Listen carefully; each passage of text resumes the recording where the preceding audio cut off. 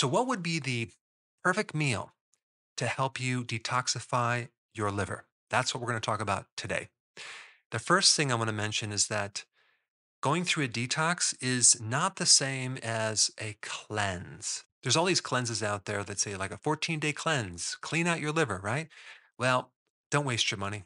Going on a cleanse with cayenne pepper and lemon juice with maple syrup for, a, for even a week or two is not going to help you clean your liver. All these expensive little kits with these powdered herbs and things that you can take to cleanse your liver are not going to, in any significant way, clean your liver. And I'm going to explain why. You have some powerful, amazing thing that happens in that cell. They go through like this assembly line of enzymatic changes. Okay. Got phase one and phase two. And then phase three is just the full elimination of that toxin. And when I talk about toxins, I'm talking about drugs, medication, preservatives, xenobiotics, which are all the chemicals that are external to the body and foreign to the body. Like you have plastics, you have petroleum products, you have also mold and fungus and pesticides, insecticides, herbicides, fungicides. You have metabolic waste like hydrogen peroxide. You have toxins from smoking. I think there's over you know six or seven thousand different chemicals. Okay, with uh, about I think seventy four to a hundred uh, carcinogens. Then you have chemicals in vaping.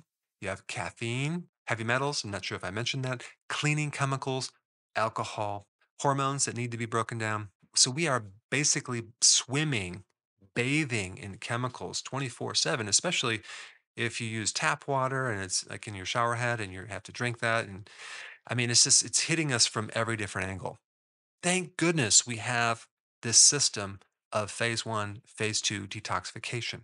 And the whole goal of this process is to turn poisons into harmless, water soluble particles.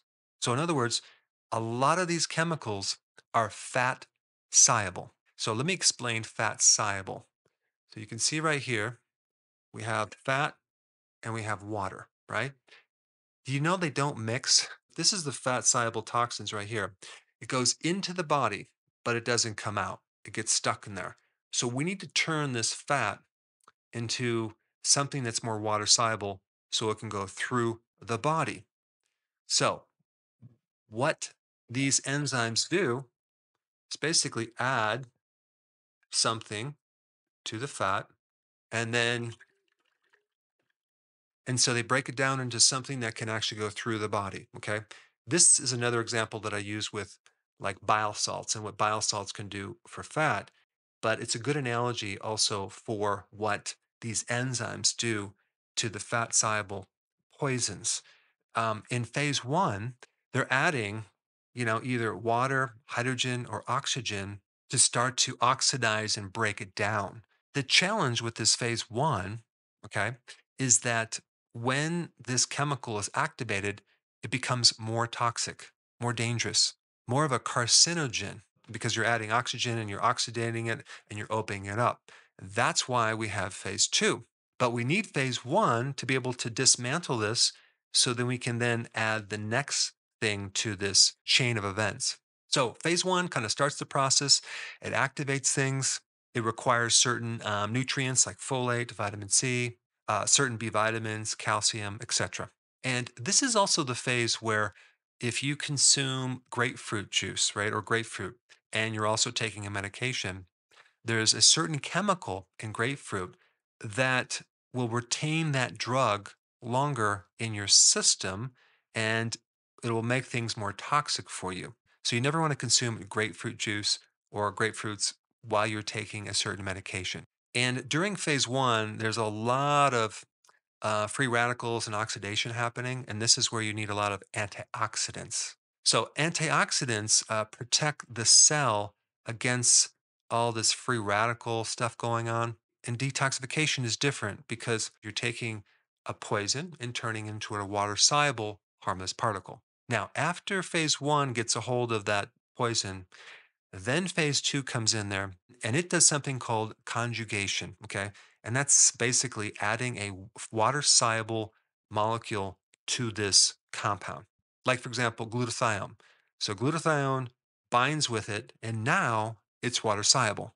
And if you ever get a DNA test, you'll see uh, all these detoxification enzymes, and you can actually see if you have a problem with them genetically. Like, like say there's just a mutation with one of those enzymes, and what that means is there's some sluggishness, and that enzyme doesn't work like it should. So it makes you more susceptible to damage from that poison if you're exposed to it.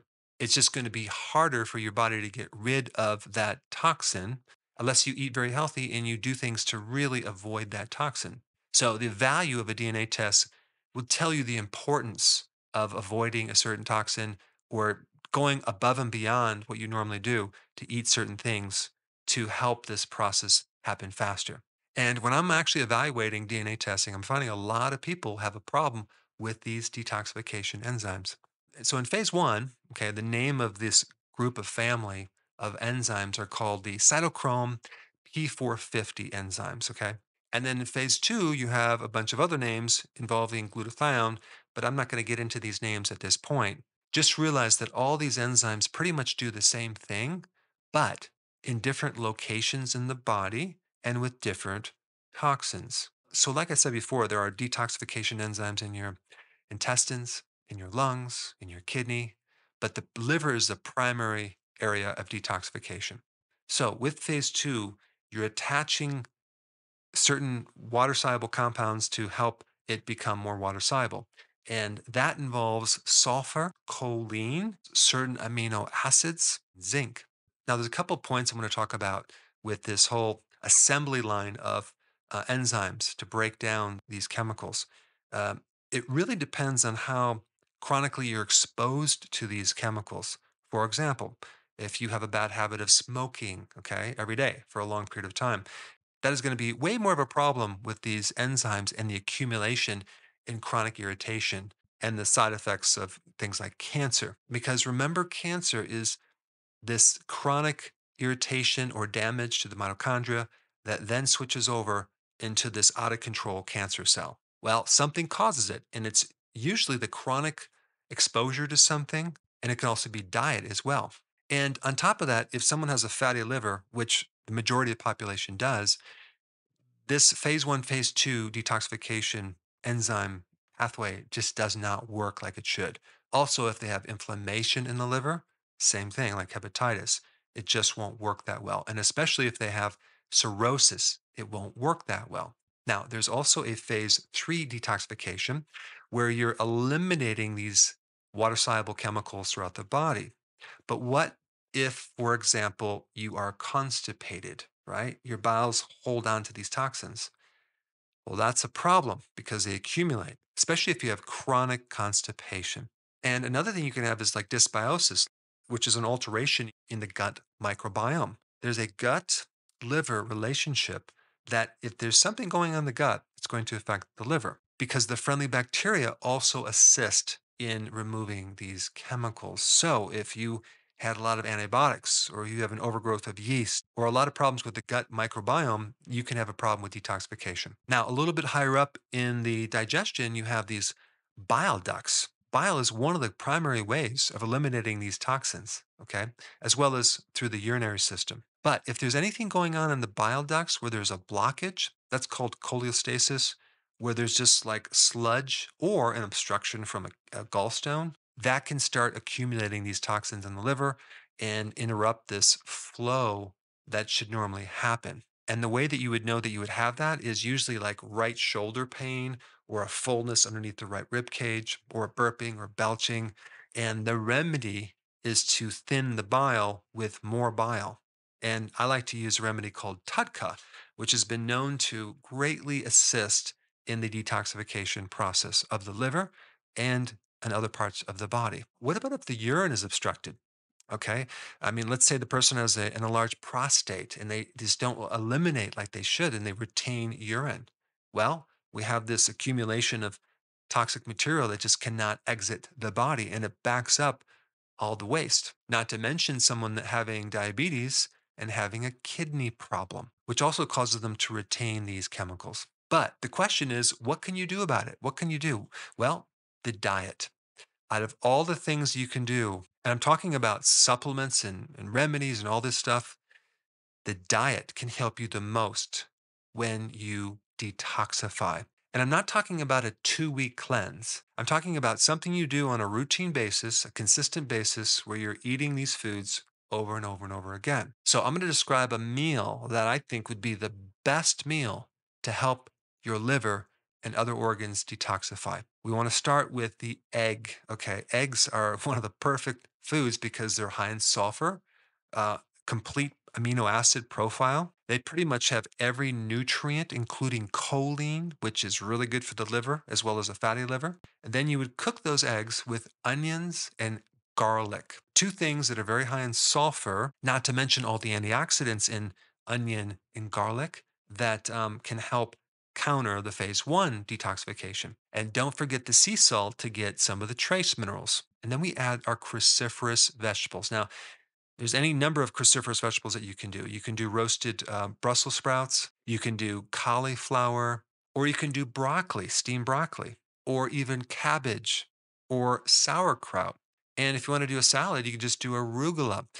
The more bitter the vegetable, the better for your liver. Out of all the salad greens, arugula is at the top of the list because it's cruciferous. These cruciferous vegetables activate the genes that cause these enzymes to be produced and work. So if you have a genetic mutation with one of these genes, consuming those foods can speed up this process. Now, just so you know, this is my meal. This is what I eat very often as my first meal of the day. And then as a kind of a dessert, I'll have kefir, which is way better than yogurt. Then I'll put some walnuts in there. And sometimes I might put some um, low carb, no sugar chocolate chips, just a little bit. That's my dessert, but that can actually help with the calcium that you need as well as to your microbiome. What's unique about kefir is that it has a lot more friendly bacteria as well as friendly yeast, whereas yogurt has less bacteria and no friendly yeast. And of course, that's not the only meal, but that's just an example of something that could be good. You definitely want enough protein too with complete amino acids because all these enzymes are made from amino acids. So it's very, very important to have some animal um, meat or eggs with your meal. And to put the icing on the cake, well, I probably shouldn't talk about cake, add additional herbs if you can. If you can add, you know, thyme, sage, oregano, cayenne pepper, turmeric, rosemary, any of these herbs are going to help you in the detoxification process. Now, if you haven't seen this video on how to get rid of a fatty liver, I put it up right here check it out.